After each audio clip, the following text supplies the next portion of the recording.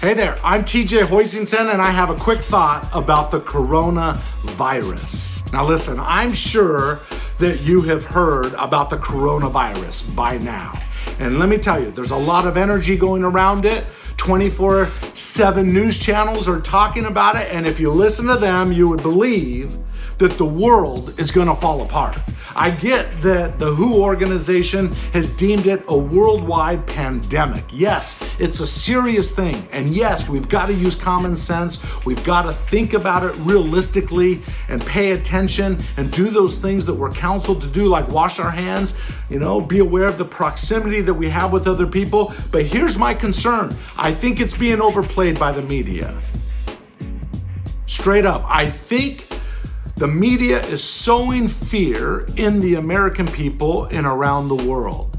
Am I saying that it's not going to get worse before it gets better? No, it's going to probably get worse before it gets better, but it's within our control. So, my suggestion is today is to minimize, and I don't mean drastically, but minimize all the hype out there and believe that things are going to work out okay. Let's not overreact to it. Now, listen, I'm not an expert when it comes to viruses or diseases. I have no medical background, but I am an expert in how to think like a high achiever, how to think like a winner. And part of that means you see things as they are, but you see them just a little bit better than they are. Instead of reacting, if you watch the, the media, the news, you see a lot of reacting all over the place instead of calmly responding. Here on the Unleash Your Greatness Within podcast, as you can see behind me, right? Let me tell you something. I'm inviting you to be calm and be wise.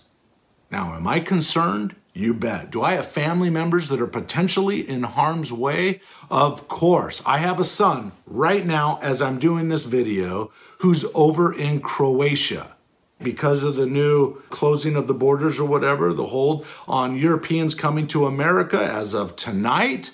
He couldn't come home if he wanted to, technically, I guess. Am I concerned? I am concerned, but I'm not going to overreact. I told my son, hey, just be smart. Be smart, follow the counsel of the professionals. And he said that he would. So I believe, hey, things by and large are going to work out. And I get when there's uncertainty, people tend to get fearful and we start creating these fear thoughts. But the challenge is we start blowing those out of proportion and we start erratically, you know, doing things, making decisions that, for example, cause the stock market to go all over the place. And we forget that we have a robust economy. And think about it the last quarter, we added 270,000 jobs to the marketplace. We have the lowest unemployment in over 50 years at 3.5%.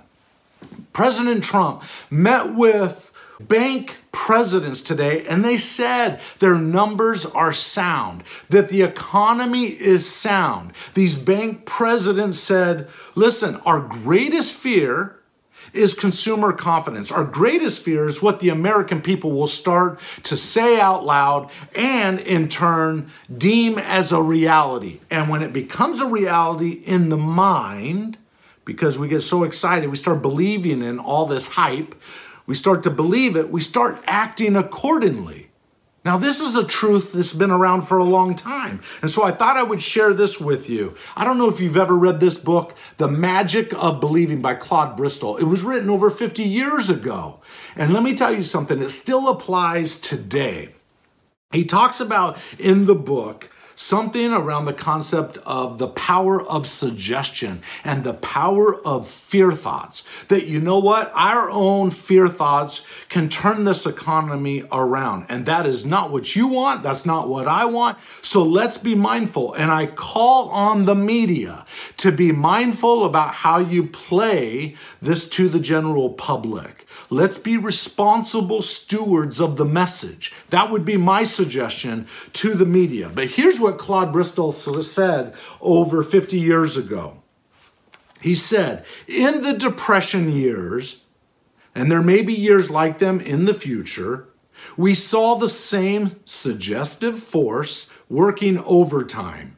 Day after day, we heard expressions such as, times are hard, Business is poor. The banks are failing. Prosperity hasn't a chance. And wild stories about business failures on every hand until they became the national chant. Millions believed that prosperous days would never return.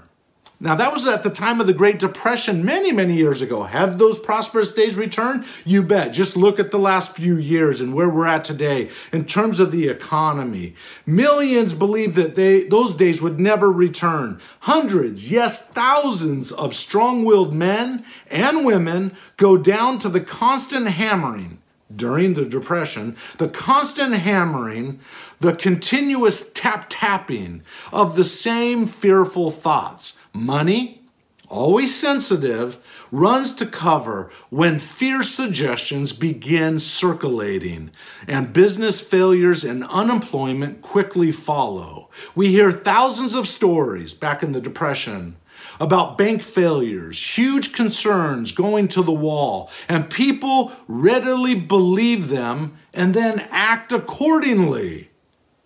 There will never be another, this is what he says there will never be another business depression if people generally realize that their own fearful thoughts literally create hard times.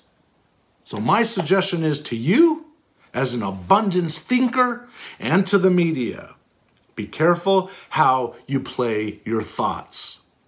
If you have a negative thought, don't speak it out loud because it has 10 times more power by by speaking it out loud. Be responsible with the words that you use. They either build or they destroy. And I suggest when it comes to the coronavirus, take it serious, but respond responsibly, realizing that most people are not going to be impacted by it in terms of their health, right? Most people are not. They're going to get ahead of this. This will one day be behind us. There's not going to be millions and millions of deaths. Let's just be clear. It's easy to play this extreme card. But in my life, every time I've seen the extreme card played, the end of the world is coming, Y2K, or other things like that, they have never come to pass. Most of the things we worry about never come to pass. But if you think it and you speak it and it becomes a national chant, that it starts to change our behavior Will we start pulling our money out of the stock market, just as an example, all of a sudden the stock market changes, right? Let's calm the fears. Let's listen to the people that are responsibly teaching you how to respond and then be wise. That's it. We're all going to be impacted at some level because of this coronavirus, but we have to believe that those that are in charge, both in government and other agencies, that their best interest is at heart. We cannot assume they want the worst for the American people or the world at large. We've got to believe that they want to help and they're doing everything in their power. And it was great that the California governor had positive things to say about President Trump in this time. I love a little bit of the recoil from the left realizing that the Trump administration, for example, is trying to do all that they could do. And if it was a Democratic administration, I would be saying the same thing. Give them the benefit of the doubt. Stop overreacting, be wise, do what you can do, those things that you have power over, like washing your hands, Pay attention to the proximity to other people. And you know what? Do all the little things that they're telling you to do. And by and large, most people are going to be just fine. All right? See things as they are, but see them better than they are and respond appropriately. I hope that helps. And may you go out there, remember who you are. You have great potential, that you have greatness within. And now take that greatness and go unleash your greatness within podcast listeners, thanks for listening. You've taken time out of your schedule, and I really appreciate it. Now, do me a favor if you like what you heard, star it. Thanks. Now go unleash your greatness within. GreatnessWithin.com